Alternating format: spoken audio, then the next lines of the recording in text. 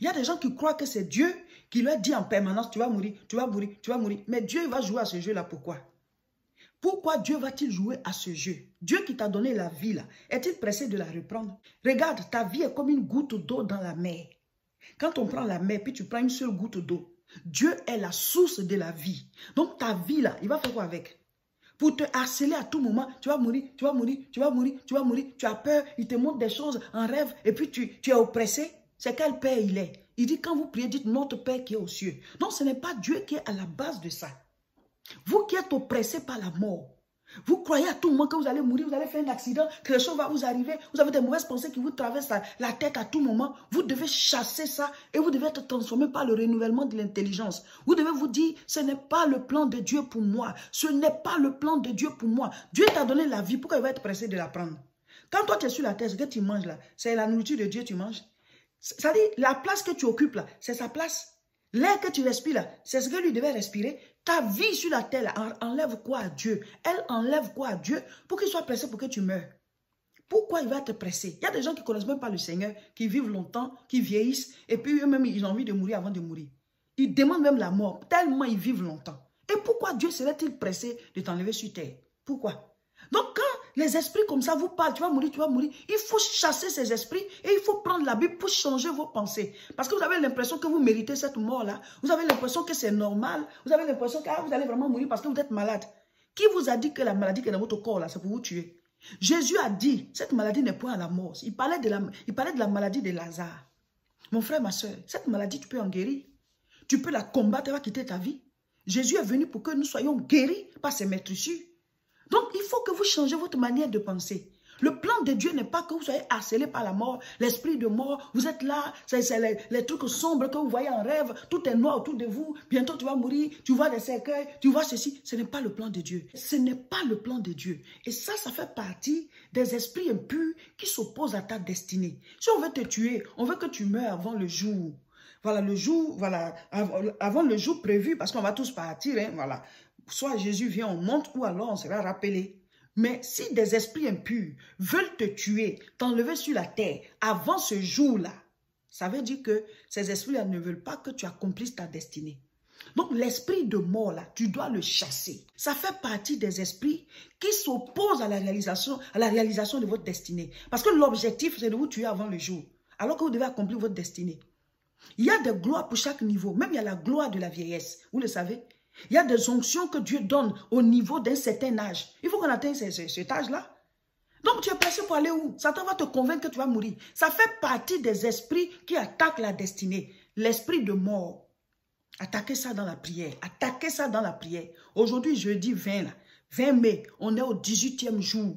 Et le sujet de prière, c'est d'attaquer, de faire le combat spirituel contre tout ce qui s'oppose à notre destinée. On est dans notre temps de jeûne et prière. Quand on va sortir de là, là, chacun doit te positionner comme une étoile. Chacun doit te positionner comme une lampe pour pouvoir briller et éclairer. Tout ce qui t'empêche là, tu dois combattre ça en permanence. Donc, combat l'esprit de mort. Aujourd'hui, jeudi 20 mai 2021, nous sommes au 18e jour. 18e jour de notre temps de jeûne et prière. Béni soit le Seigneur, béni soit l'Éternel qui nous donne la force. Amen. Gloire à Jésus.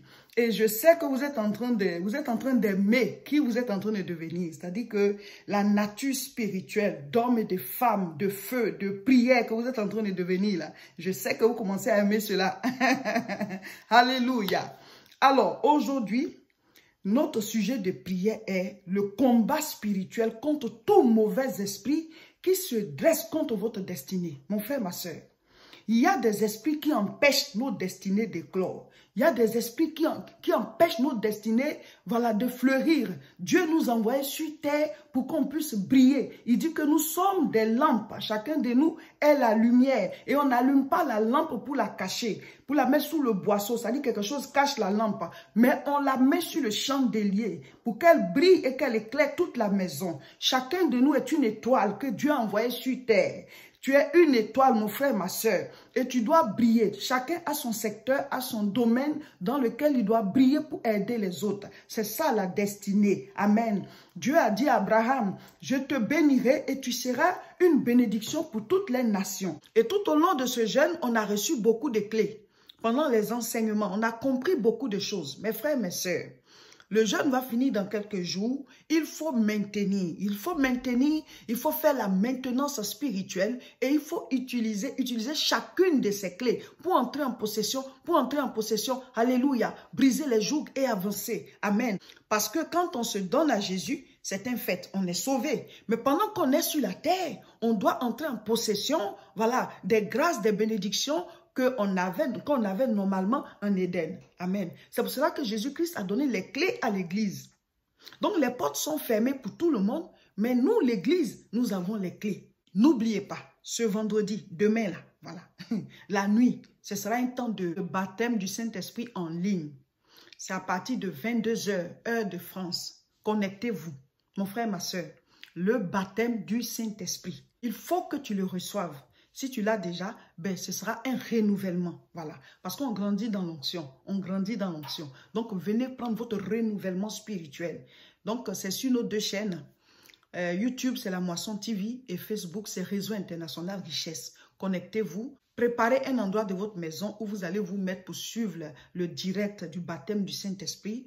Et puis voilà, le Saint-Esprit vraiment va baptiser. Il va, descendre sur tous ceux qui seront connectés. Nous avons la foi. Nous allons prier et Dieu va faire le reste. Donc, euh, demain vendredi, 22h heure de France, connectez-vous. Ça sera puissant.